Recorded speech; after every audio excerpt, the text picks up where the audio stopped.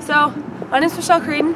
Uh, welcome to UMass Amherst. Uh, I'm going to be showing you all of the highlights of the campus today.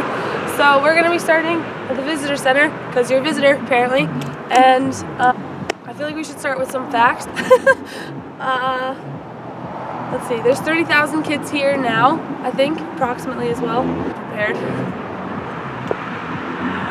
It's a very colorful university, I have to say, in my personal opinion.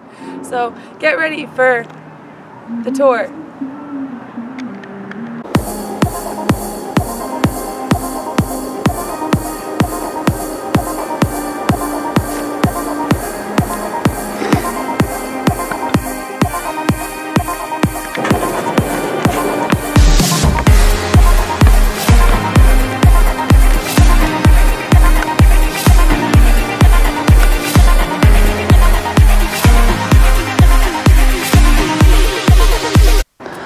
Alright everyone, so this is Southwest. This is the stereotypical UMass area of UMass itself. This is where you find all those party bros, party girls and stuff. Um, it's a lot of gym people, a lot of basics, that kind of thing. Always some weird shit going on around here. Like a couple years ago when they had the, or maybe one year ago when they had the clown thing, that there were people running around here trying to find it. It's party central, it's always noisy. It's it's just wild to be honest. This is okay. So this right here is Hamp Dining Hall. It is said to be the healthiest dining hall on campus. It also is the best selection of food, I would say, but it's mega confusing because it's shaped like a circle. So this is the Berkshire Dining Commons. This is said to be the best uh, dining hall on campus. Always has consistently good food, especially, and it's my particular favorite when I'm high. So I like to say that their pasta is really, really good. Um, their meats and fries and stuff is always really good. Always crowded though. I don't think there's ever been a time where it's like there's not a lot of people there. Um, definitely a good place to be. Always loud, always poppin', just like Southwest is. So this is the UMass Rec Center. This is where all your muscle heads and pretty girls go. Um, everybody wants to obviously be in shape and work off of the calories that the munchies and or alcohol brings. Um, for some reason, we have a multi-billion dollar school and the gym is still not big enough to fit all of the people that actually want to go to the gym. There's people are always fighting over machines and shit. Um, there's three basketball courts. They always have to play full court basketball, even though there might be people who want to play basketball not full court, but it's fine. Um, there's also really overpriced shakes with protein in them as well.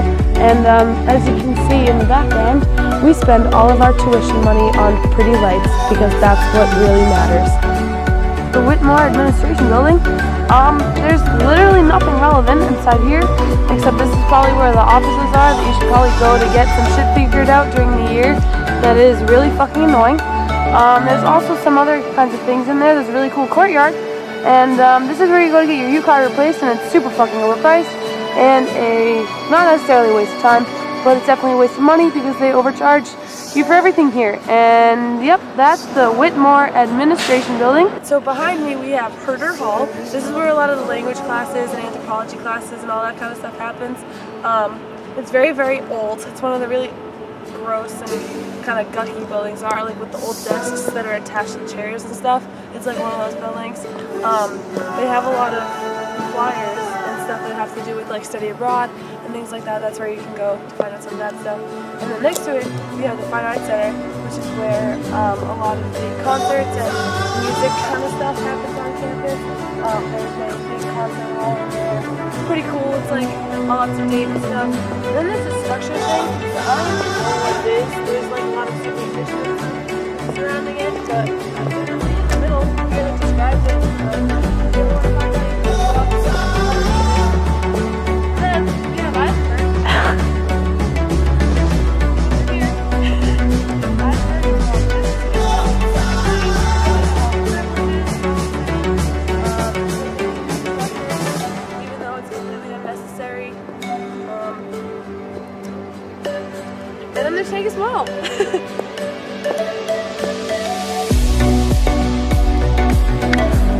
one of our famous campus squirrels. Um, they are crazy. Uh, you can see these crossing your path on your way to class. Sometimes you can see them fighting and jumping around with each other. There's a lot of really diverse squirrels here as well, um, in case you were wondering, you know, in case that was one of the questions that you had. But I have no idea. Alright everyone, so this right here is the campus pond. Now this is normally in the warm weather a hub for people. It looks like everything that you would ever see in any college brochure ever.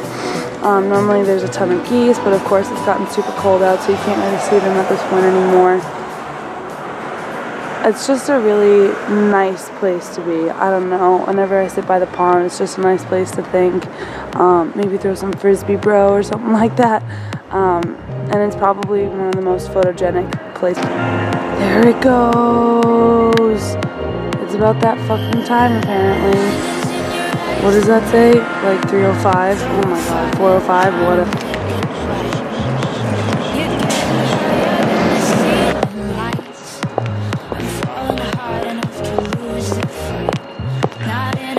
this is our lovely campus center with the wall such, I'll walking inside.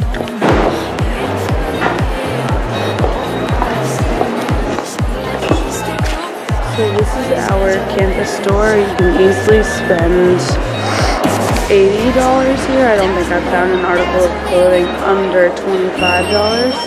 And it's also attached to a blue wall as well. There's the blue wall. See, they weren't even kidding about the blue wall. Okay, so here we have the UMass Student Union. This is where a lot of events are hosted on campus. There's bands sometimes that play here. They also have People's Market, which is best coffee on campus apparently. It's also super cheap. Um, there's a lot of resources here as well. There's the off-campus student housing place. There's the paper copy and design. There's all sorts of different stuff that go on here. we also, in light of our recent meningitis outbreak, had our vaccination station here. Um, so yeah, we were famous. CDC was here. Thoughts on every campus should say, right? You don't know what these two buildings are, these are the on-campus, technically off-campus frat houses. In more recent news, they have gotten in trouble for having some kids' ear bitten off, um, and they were, until recently, on sanctions for their violent parties and such. Um, just avoid them unless you're drunk. Okay, so this is the Studio Arts building and that is the design building right over there. Now these buildings are dedicated to all the art students here, and they're super state-of-the-art, super, super nice. See kids working in there until early, early in the morning. Actually, sometimes even super late at night. Um, I've only been inside a couple of times, but from what I gather, they are fucking awesome.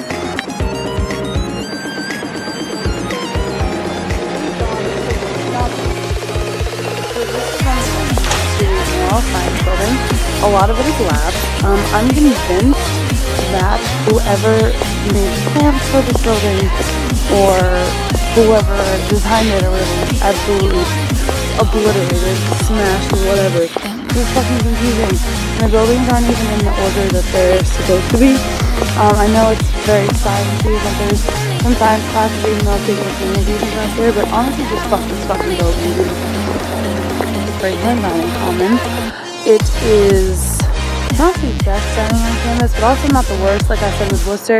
All depends on who you ask. I personally think they have the best stir fry on campus, and there's one particular guy who knows how to add just the right amount of spice. Um, it is super confusing because there's two sides and it doesn't really have any rhyme or reason to which side is which, but you get kind of confused because there's drinks on either end of the square, so you do have the potential to get lost. Uh, there's also grilled cheese, and no other dining hall has grilled cheese. Just, I mean, I don't know if that's really a highlight, but I think that's personally pretty freaking sweet. Um, I also think that this is the dining hall where you will see the most colorful groups of people on campus. Alright, and here we have University Health Services. And if you go here, you know that this is kind of a fucking shit show. I'm convinced it's a Ponzi scheme, but that's, you know, every to each their own opinion. Um, it is a cesspool of germs, and if you go here while you're sick, you, you, you may end up sicker than you already are. Um, they'll also probably misdiagnose you, which they have for me twice, just as a heads up. So if you'd rather go to a CVS pharmacy, I'd probably recommend that. And um, oh, two highlights though: mm, free condoms and free STD testing. Hell fucking yeah! Comes in clutch when you really need it. That's all I'm saying.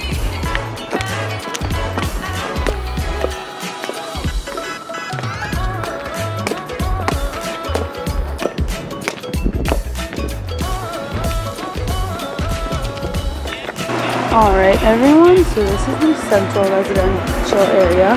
This is what we would consider the artsy fartsy part of campus. Um, there's a very good mix of people though, so I mean that's said very liberally, but um, there's also the central art wall which kind of gives it its artsy vibe. The buildings are similar to the ones in Northeast, but I think they're a little bit newer, so they're a little bit nicer. Um, generally good vibes, to be honest here.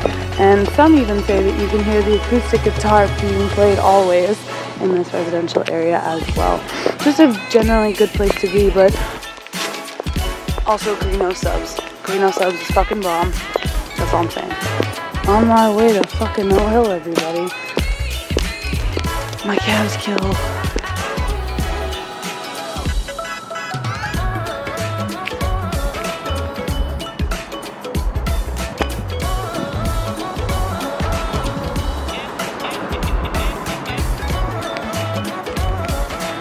Alright everyone, so this is O Hill and this is the hill that everybody talks about. So, it usually smells like weed up here. Um, obviously in this cold weather, the stoners have gone into hibernation season, myself included. Um, O Hill, if you live in O Hill, it usually means that you have wicked nice calves because the hill's a pain in the ass as I just walked up and to be honest I was kind of breathless even after just walking and it also makes you super sweaty whether or not it's 20 degrees out or 80 degrees out um, because it's so fucking steep um, there's Sweets and More here which is uh, a non it's student run I believe and they make the dopest shakes and they're open till like 12 p.m. so usually you'll chill out on the hill over here and then head right inside for a nice little sweet treat I'm surprised it doesn't smell like pot now.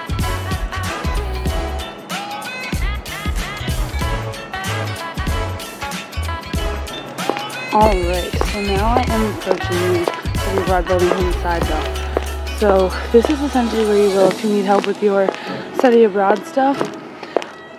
It is painfully irritating to even, for first of all, to even find the building. And second, everyone in here is useless. I mean, the people that have gone on study abroad will give you pretty decent advice, but any of the people who are there to, to actually help you are basically useless. So best of luck trying to get your shit together because I basically did everything myself and that's what you're probably going to end up doing too if you decide to go study abroad. I say it ain't worth it. Just figure it all out yourself and then get their approval last, to be honest. Alright, and that's the Study Abroad building construction on a college campus? How could that possibly be? Alright everyone, so this is Durfee Conservatory. This is a great place to come chill out inside or outside. It's a great place to honestly just forget.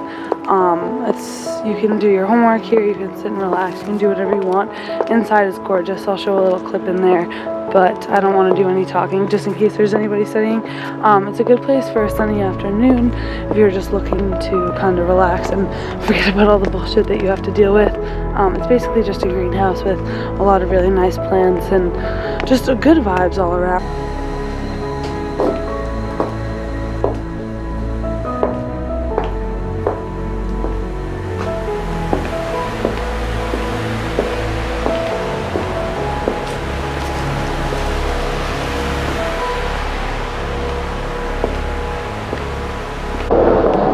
UFO, UFO, UFO. UFO. Where'd it go? Shit. Where'd it go? Zoom out, zoom out, zoom out. Ah, I lost it. Okay, so this is the dining hall. This is where they must make the best Asian food on campus. Uh, it is also one of the dining halls, or what kids tend to say is one of the worst dining halls on campus. Um, it honestly depends on you ask. In my personal opinion, it has some good days and some bad days, depending on what the menu is. And some highlights are that it has no ventilation and it's mildly, actually let me say mildly, it's mildly irritating to be honest. Alright, so this is the Integrated Science Building. This is a building where most of your general science classes will be, the big lectures and such. Um, there's a lot of labs in here, a lot of offices, many people doing um, very sciencey work. Um, it's a really cool building to explore. It's also really nice if you're looking for a spot to study that isn't completely dreary and depressing. Um, and there's also a really cool cafe in there as well. Working hard or hardly working, am I right, ladies? Alright, so now I'm going to be taking you the northeast residential area. Looks very similar to Sylvan with the brickwork and dingy windows. Um, now this is where most of the science and math people on campus will be staying. Um, it's a lot, also where a lot of the international students are on campus. Uh, there, so if you if you need any homework help, this is probably where you're gonna want to go. Um, to be honest, it's not a bad place to live, but it's also not great. It kind of feels like jail on the inside. I remember when I stayed there for orientation, it just was not like the best place I want to be. Um, so yeah, this is where you are going to live if you are a nerd. Okay, so here we have the North Apartments. They are essentially um, multi-year housing. Until I started living here, I had no idea what was here. Um, it's super nice, but it's expensive ass dorm furniture to be honest. And depending on who your roommates are, could be lit or could be shit. Alright everyone, so this is Sylvan. So this is one of the multi-year housing um, or residential areas on campus. Um, this is actually where dreams go to die. Uh, it doesn't look terrible from the outside. It looks like old brick buildings. Um, it's just really dreary and like melancholy, I guess is the right word to use it. Um, it's very quiet and uneventful. Nothing really huge happens here. It's just a place where all your stuff stays. Um, what's really cool, uh, actually one of the highlights though is the Southern Tax Bar. I'm pretty sure they have goat food.